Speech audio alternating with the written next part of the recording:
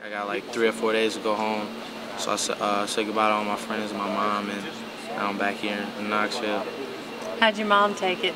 Uh, she was kind of, you know, sad at first, and then when I, you know, I finally like took off, you know, it probably really hit her, and uh, I miss her. Aww. Uh, Quinton Chievous, 18 years old, shooting guard, hometown Chicago, Illinois. So you keep in touch with her a lot?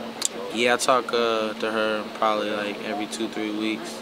Um, cause I'm so busy with my schedule and she's so busy with work, so I try to talk to her as much as I can. Email, text, and stuff like that. Mamas like I don't, to hear. I don't text that much, to be honest. You can ask the girls, I don't ever text. What are some of the things that you like to do when you're back home in Chicago?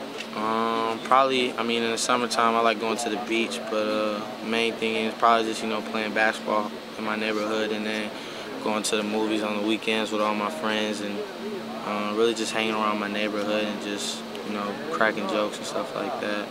Did he have any talents outside of basketball? Things that you're good at other than basketball?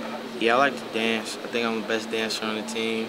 Yeah? A lot of people will probably say I'm the best dancer, so You gonna show me? No, you're gonna have to wait.